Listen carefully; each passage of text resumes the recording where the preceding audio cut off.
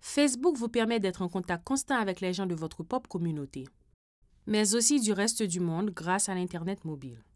On peut se servir de Facebook pour rester en contact avec la famille, les amis et associés de travail. Vous pouvez vous tenir au courant de ce qui se passe dans le monde entier ou en savoir plus sur vos vedettes ou équipes de sport préférées. Facebook est ce qu'on appelle un réseau social. On peut trouver d'autres réseaux sociaux sur Internet qui fonctionnent de la même manière. Avec des textes, des photos et des vidéos, vous pouvez communiquer avec une seule personne ou avec un groupe spécifique de gens, voire avec des millions d'autres personnes à travers le monde. Mais n'oubliez jamais que Facebook est un réseau public et que d'autres personnes pourront donc voir ce que vous y publiez. Vous pouvez accéder à Facebook sur Internet à l'aide de votre smartphone ou de votre téléphone portable basique en allant sur www.facebook.com. La prochaine étape sera de créer un compte Facebook pour y rejoindre vos amis. Tapez votre nom réel, votre date de naissance, votre numéro de portable, votre sexe. Choisissez un mot de code secret et gardez-le secret. Tapez le code de confirmation que vous recevrez soit par SMS, soit sur WhatsApp. Et appuyez sur OK pour vous connecter. Vous devrez maintenant dresser une liste d'amis Facebook. Sélectionnez l'icône Amis.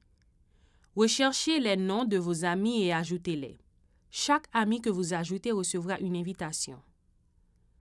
Si ces amis acceptent l'invitation, vous pourrez visionner tout ce qu'ils partagent sur Facebook et ils pourront à leur tour voir vos mises à jour et activités que vous publierez sur Facebook. Votre compte Facebook est maintenant prêt. Vous pourrez dès lors partager vos histoires, mises à jour ou renseignements concernant votre métier. Vous pourrez écrire vos pensées dans la case Exprimez-vous. Vous pourrez y ajouter une photo ou vidéo en appuyant sur l'icône Appareil photo. Vous pouvez choisir de partager soit seulement avec vos amis, soit avec le public, et dans ce cas, n'importe qui pourra voir ce que vous publiez.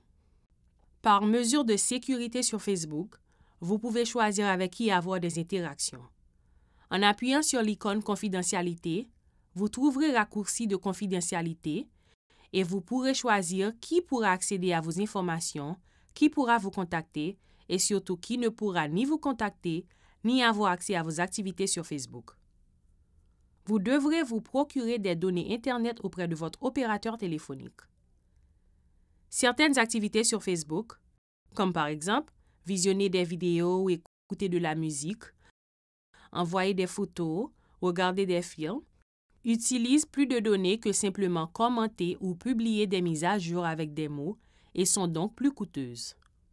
Avec l'Internet mobile, c'est tellement facile de rester en contact avec sa famille, ses amis et même avec le reste du monde. Pourquoi ne pas l'essayer dès aujourd'hui?